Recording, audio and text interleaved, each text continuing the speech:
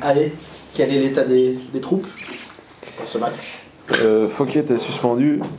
Joseph Okoumou est toujours blessé. Max Buzy est toujours blessé. Koné est toujours blessé. Euh, je crois que je m'arrête là.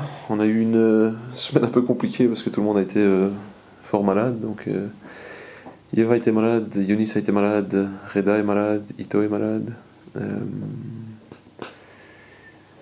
Il y en a encore quelques-uns. Amir a été malade. Euh, donc on a un peu frappé par euh, une grippe ou un rhume ou je sais pas trop ce que c'est. Qui a euh, gêné notre, notre préparation. Mais on verra qui, qui est apte ou non demain pour, pour le match. Globalement, tout le monde est remis avec des séances d'entraînement en moins Comment c'est quoi? Ça à voir. Ah, je sais pas, sincèrement, je sais pas donner une liste définitive de qui est là ou qui n'est pas là. Mais on verra, on verra demain matin et on verra si, si oui ou non les mecs sont, sont aptes ou pas. Comment C'est- on c'est gère dans ces cas-là de grippe, euh, c'est une épidémie, pardon. euh. Je sais pas, les termes médicaux et tout, faut pas, faut pas me demander ça, je- j'en sais rien, ils sont, sont malades, ils ont un rhume, et ils se mouchent et c'est tout, ce qui- c'est tout ce que je sais, moi, les Comment on termes gère dans ces cas-là Est-ce que les, les mecs viennent ici mais sont en salle? Est-ce qu'ils restent à la maison? Comment Ça dépend, le, le- ça dépend. Euh, Amir hier est arrivé, puis il est reparti parce que ça n'allait vraiment pas. Euh, ça, dépend, ça dépend les cas, ça dépend le. Et je dis, c'est pas moi qui m'occupe des, des prises de décision, c'est le doc et le, et le staff médical. Euh, Joseph, vous avez une meilleure visibilité sur la durée de son disponibilité Pas avant la trêve internationale, je pense. Et si ça l'est, ce sera vraiment un retour au groupe, mais pas, pas beaucoup de temps de jeu. En tout cas, le, le match du Havre euh, a remis un petit peu de. Non, pas qu'il est négatif, mais enfin, le fait de ne pas gagner, ça pèse toujours un petit peu. A remis un petit peu de bon cœur à tout le monde pour cette semaine de prépa? Euh, Surtout la manière, je pense. Euh, le fait de devoir euh, vraiment creuser et d'aller chercher cette victoire au bout, du, au bout du bout au final a fait du bien. Et encore une fois, es capable de, de performer comme ça à 10 contre, contre une belle équipe ou une équipe qui est difficile à jouer à, à l'extérieur, c'est positif. Donc il y avait pas mal de choses positives contre Lens et puis on a su enchaîner avec, avec pas mal de, ouais, de, de bonnes choses contre le Havre. Et je le dis, quand tu, quand tu prends un peu de recul, ben là on est sur 4 sur 6 et il y a deux semaines c'était la crise et tout le monde s'inquiétait, mais ça fait partie du, ça fait partie du foot, ça fait partie d'une saison comme on l'a dit, donc euh, on se prend, on s'est jamais trop pris la tête et ça ça va pas changer. Là on a, on a deux grands matchs qui arrivent et on a envie de, bah, de, les prendre au sérieux, de bien les, les faire, donc c'est ce qu'on va, c'est ce qu'on va essayer de faire.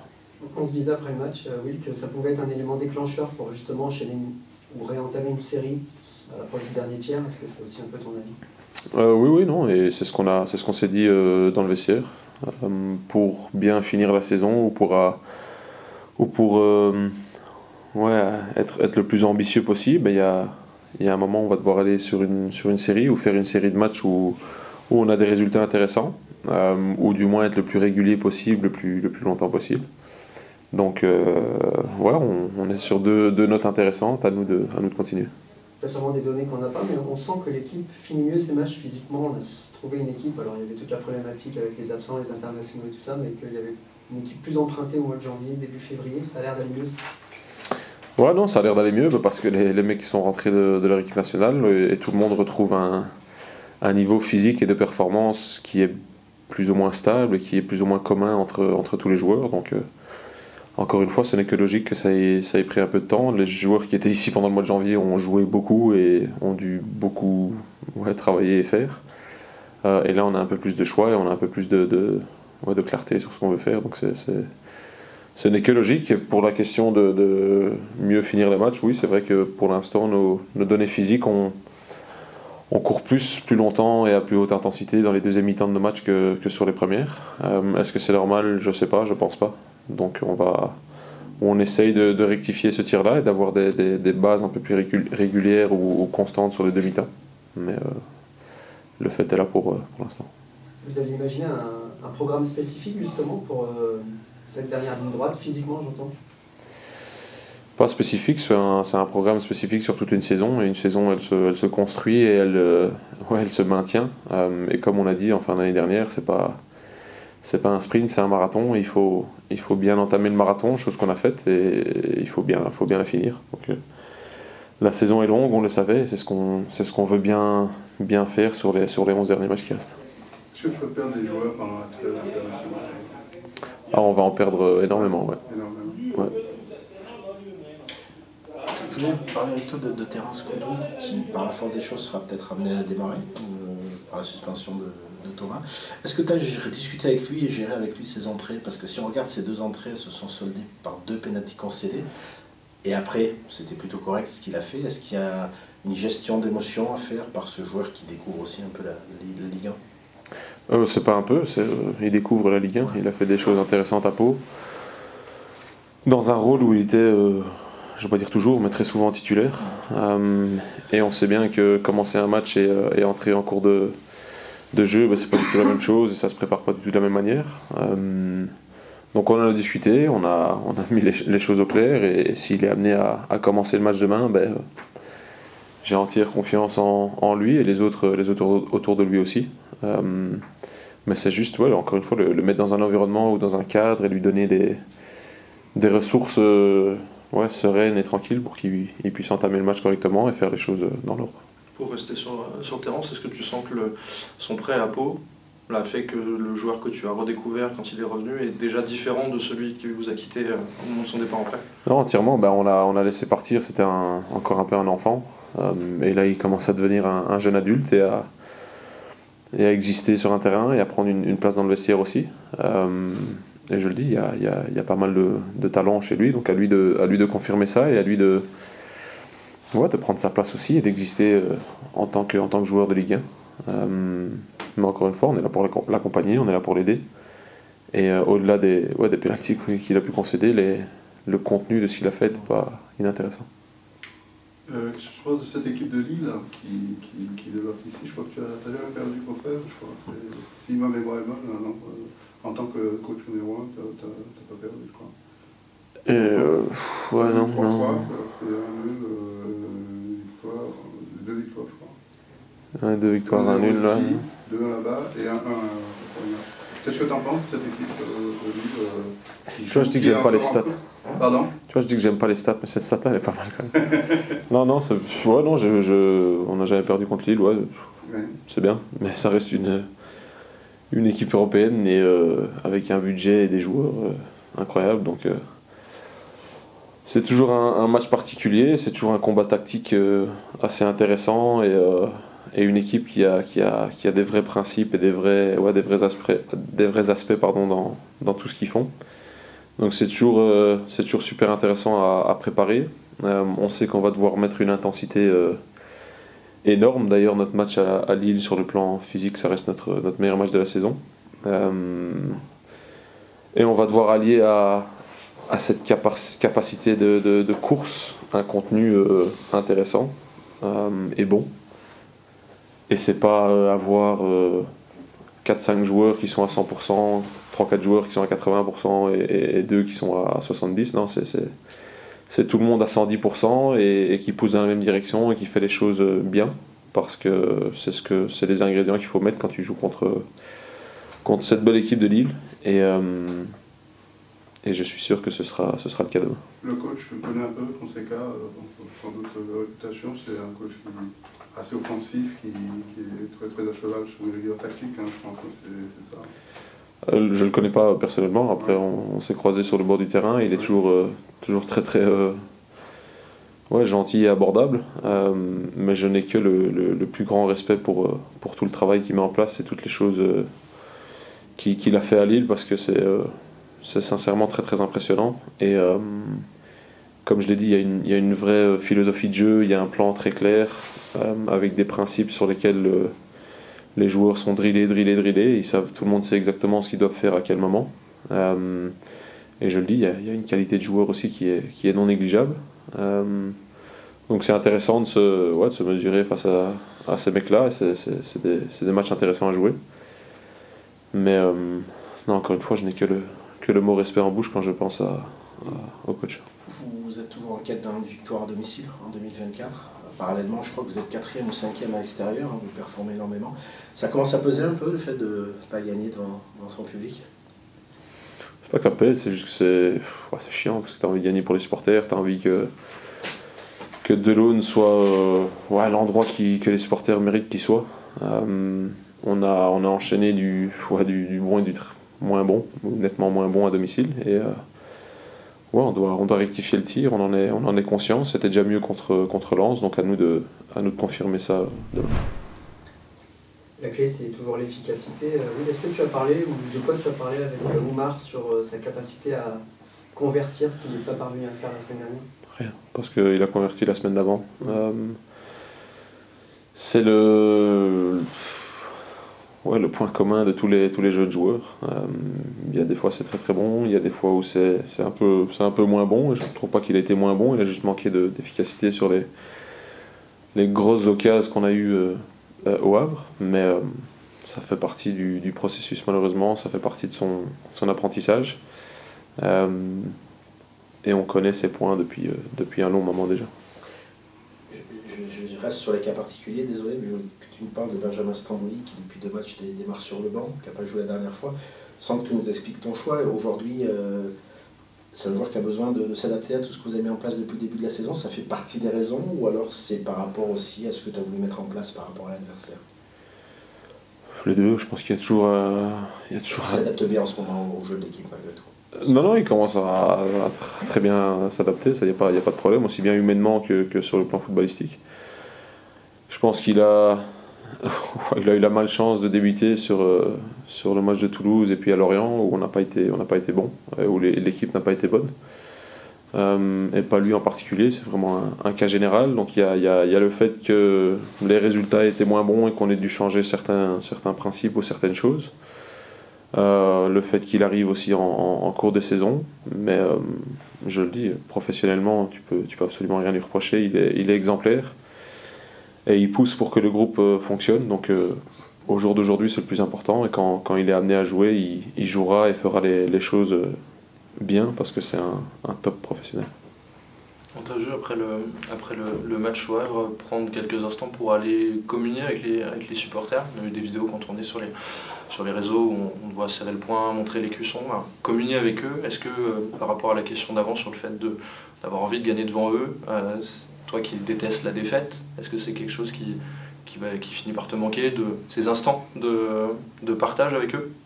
Ah ouais, non, clairement. C'est pour ça que je dis que c'est chiant, parce que t'as as envie de vivre ça euh, ouais, toutes, les, toutes les deux semaines ou tous les, tous les dix jours. Euh, encore une fois, je l'ai fait la semaine dernière parce que c'était un, un match particulier, surtout la fin de, la fin de match. Et puis, euh, encore une fois, on a pu raconter un tas de, un tas de conneries qui, qui sont pas forcément vrais, qui, qui, commencent à être non significatifs, je trouve. Euh, J'avais juste envie de, ouais, de leur rendre quelque chose parce que ça, ça m'emmerdait qu'on n'avait pas, gagné depuis longtemps. Et, euh, et je le dis, le match était, était particulier, surtout sur la fin. Donc, je suis comme je suis, je vais, je vais pas changer, mais c'est clair que si on peut le, le faire à domicile, ce serait, ce serait encore mieux. Tu, tu étais à la réunion de, avec eux mercredi, là, les abonnés, tu as pu discuter un peu avec les, les, les joueurs les... J'ai pas reçu de questions directement du public, mais j'ai reçu des questions de, ouais, de notre speaker. Donc, ouais, tu as pu un peu avec eux, changer avec les supporters. Ouais, bah, malheureusement, ils avaient ma grande gueule en plein milieu de l'écran qui était juste derrière moi, donc ils ont dû regarder ça pendant 20 minutes, ce qui n'a pas forcément ouais, le plus, la plus belle chose à voir. Non, mais, mais c'était sympa, non, c'était cool. Échanger, ouais, non, c'était cool. L'ambiance était bien. Et... C'est sympa. Euh, Marshall, est-ce que la victoire au Havre a fait du bien après une période où c'était un peu plus difficile? Oui, euh, c'était très bien pour gagner les matchs parce qu'on avait perdu beaucoup. Euh, c'est des choses c'était difficile euh, par rapport à nous tous. Et vous connaissez les victoires, ça donne confiance, ça donne de l'énergie pour tout le monde. Ça se voit même cette semaine-là à l'entraînement, tout le monde était très content. Et je pense que ça donne aussi l'énergie pour les prochains matchs demain surtout la manière aussi, euh, où vous allez la chercher euh, à la fin. Hein, oui, oui, on a, on a parlé de ça. On a parlé, même si on casse une but, on ne va pas lâcher rien. Et ça a arrivé, on a cassé un penalty et nous aussi on n'a pas arraché, même si on était euh, 10 joueurs sur le terrain. Et on a continué à avancer et on avait mérité aussi pour gagner. Plus aussi à cette euh, situation. Est-ce que vous avez douté dans cette période où vous ne gagnez pas, notamment contre Nantes, Toulouse, Lorient? Est-ce qu'il y avait du doute? Non, il n'y avait pas de doute. Plus aussi pour nous, euh, j'étais là il y, a, plus d'années maintenant. On sait qu'il y a des moments difficiles, mais c'est où là on ne va pas lâcher, où on doit garder la même état d'esprit, on doit rester solidaire par rapport aux des matchs comme Lorient, Nantes. C'est des équipes, normalement, on doit gagner si on doit finir haut. Et ça se voit aussi contre Le Havre. On sait que c'est des matchs difficiles, mais on n'a pas lâché rien, on a resté solidaire jusqu'à la fin. C'est où on avait marqué à la fin du match. Est-ce qu'on a évoqué la manière juste avant, est-ce que le, le fait d'être allé la chercher celle-là alors que c'était un match compliqué, ça rajoute encore du, de la confiance par rapport au fait que vous avez dû puiser dans des, dans des ressources, faire face à plein d'éléments contraires, le carton rouge de Thomas, pour essayer d'aller chercher ce résultat Oui, oui, ça, ça, ça commençait à match de lance, à domicile. Et on avait donné beaucoup d'énergie. Ça, ça partait aussi comme on avait commencé à l'Ouave, même si les, les matchs, n'étaient pas facile parce que c'est une équipe aussi, vous, vous gagnez du match et vous gagnez des points. Et oui, on avait reçu un carton rouge, mais on n'a pas lâché aussi. Même les coachs, ils ont changé aussi le système. Tout le monde, ils ont adapté. Et c'est où là on avait communiqué, les gars. On ne doit pas lâcher ces, ces points. Et même si on est capable aussi pour prendre trois points, ça va être bien, mais on n'a pas, on a parlé pour pas perdre de match comme on a fait avant. On se disait avec Will tout à l'heure, Marshall, que la bonne nouvelle aussi, c'est que vous finissez mieux vos matchs aussi physiquement. On sent que vous êtes moins emprunté qu'au mois de janvier, par exemple. Oui, parce qu'on n'avait pas beaucoup de joueurs, même en janvier, il y avait beaucoup de joueurs à la Cannes et même à jouer à, à, Et ça aussi, ça manque de rythme parce que tu changes aussi les, les climats, c'est pas la même. Et là aussi, moi, j'étais blessé. C'est des périodes où on n'avait pas beaucoup de joueurs et même physiquement, on n'était pas tous euh, à la même niveau. Ça se voit, c'est là où on a commencé à prendre euh, physiquement à la même niveau pour finir des matchs bien. Comment tu te sens toi justement Parce que tu as été blessé longtemps, c'était difficile, plus de deux mois hein, quasiment. Est-ce que tu estimes que tu es revenu à ton meilleur niveau ou tu espères encore plus? J'espère encore plus parce que mon blessure c'était une blessure compliquée et, mais les coachs ils ont mis les confiance en moi pour, pour jouer, euh, pour gagner du temps mais ça va te permettre aussi pour prendre les confiances, pour aider l'équipe. Et j'espère là on va continuer à faire peut-être une belle série jusqu'à la fin de saison pour finir peut-être à une bonne place. Est-ce qu'avec le, le, temps, les saisons qui passent, l'expérience, tu les appréhendes mieux, ces absences loin des terrains? On sait que c'est toujours des périodes qui sont compliquées pour les joueurs quand vous êtes euh, blessé pour une longue durée. Est-ce que tu trouves que tu les gères mieux qu'avant? Oui, oui, bien sûr. L'expérience, ça joue aussi parce que là, tu, tu connais peut-être euh, avant, tu ne sais pas comment tu dois travailler quand tu as une blessure. Mais là, j'ai aussi une blessure disque avant. Là, avec les chevilles, j'essaie un peu, j'adapte aussi. Même les séances que j'ai fait, même euh, dans la semaine, quand on traîne, je m'adapte euh, par rapport quand j'ai eu avant. Et ça nous permet aussi pour aider les joueurs. Quand ils étaient blessés, il y avait Val aussi, il était avec moi. Ça nous permet aussi pour adapter, pour utiliser l'expérience.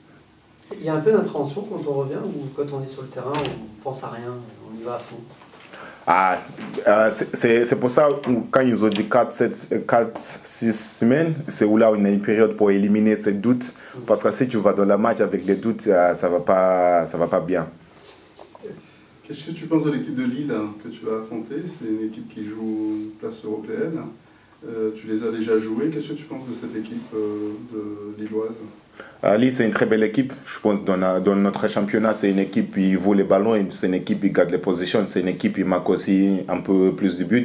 Mais pour moi, depuis que j'arrive ici, c'est une équipe qui donne beaucoup de problèmes. Mais on avait aussi eh, trouvé des solutions pour gagner et pour notre aussi. Eh, mais les, les lieux dans le difficile, eh, un moment difficile. Mais pour nous, c'est juste pour continuer cette série. On avait commencé. On sait que ça va être difficile demain, mais on est capable aussi pour, pour gagner ce match enfin gagner à domicile en 2024, qui n'est qui, qui, qui toujours pas arrivé, quoi. enfin gagner à domicile, quoi. Ouais, ouais, on va essayer. nous, on sait aussi pour notre supporter, ils sont toujours euh, derrière nous. Mm. Et même aussi pour, pour Youn à ce moment-là, ils ont dit c'est son dernière saison, on doit faire ça aussi pour lui pour finir à, dans la bonne place. Marshall, il y a encore une, possibilité que Reims décroche une on dit, un, billet euh, européen. Est-ce que vous y croyez? Est-ce que tu y crois personnellement que si vous arrivez à faire cette bonne série, que vous pouviez euh, approcher de la 8e, 7e, euh, peut-être que la 7e place va être européenne, la 6e place?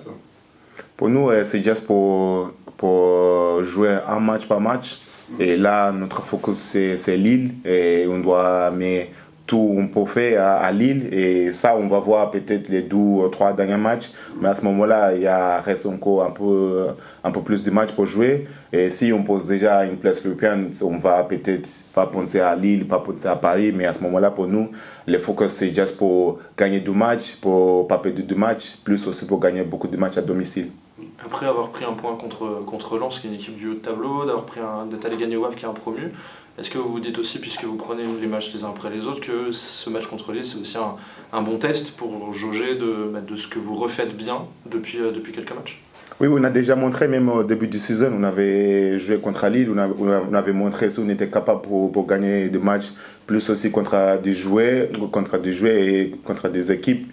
Ils jouent en européenne, pareil avec Lille, on avait gagné là-bas. On sait, oh, ils vont venir ici pour, faire la même chose, mais c'est nous aussi, on doit montrer on est une équipe euh, capable pour finir peut-être dans la top 6, top 7. Euh, mais on doit faire ça contre les équipes comme, comme, comme Lille, comme Lens, pour gagner cette, euh, cette match. Est-ce que tu dirais que cet adversaire-là, évidemment la tactique a une grande place très importante pour toutes les confrontations et matchs de haut niveau, mais contre Lille spécifiquement, c'est que le coach Fonseca est très pointu sur la tactique et très porté sur la tactique. Est-ce que c'est c'est un paramètre qui va être très important de tu t'attends à un combat d'échecs, un vrai combat tactique ce week-end?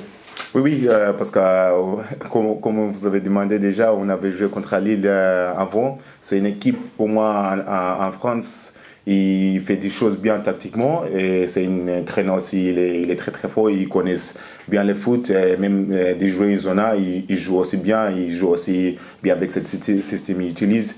Pour moi, ça va être une bonne test pour nous aussi pour continuer cette série, pour gagner du match, pour montrer si on est capable pour, pour battre euh, des grosses équipes. Le prochain match, encore il y Lille, après il y a Paris, c'est excitant hein, pour de, jouer, ces, matchs-là Oui, oui, bien sûr, pour tous les joueurs. C'est du meilleure équipe euh, en France. Quand tu regardes Paris, tout le monde veut jouer Paris. Tu ne donnes pas même euh, euh, les motivations pour, pour jouer ce match. Nous tous, on sait déjà, si tu joues Lille, tu joues Paris, tout le monde regarde. Et plus là, on a beaucoup de jeunes, peut-être il y a beaucoup d'ambition pour, pour voir quelque part. Ça commence là, tu dois montrer quand tu joues contre les équipes comme Lille et PSG tu es devenu un cadre de l'équipe maintenant, ça y est, tu es le grand frère. Comment ça se passe dans le vestiaire? Tu, tu, tu, prends la parole, tu t'exprimes, tu, tu, aides les jeunes, comment ça se passe? Oui, je prends les paroles comme les, les anciens nous ont fait quand j'arrivais ici, c'est la même chose. Plus là, on a beaucoup, beaucoup de joueurs étrangers, beaucoup de joueurs parlant anglais. C'est aussi là que je joue parce que je parle aussi mieux français et j'aide aussi les joueurs, même sur le terrain, même au du terrain, même avec la famille, j'ai dossier avec ça. C'est très important pour nous tous les jeux parce que les foot, et oui, tu joues le foot, mais c'est aussi des choses qu'on fait au du terrain. Super. Super. Merci, Merci. Beaucoup.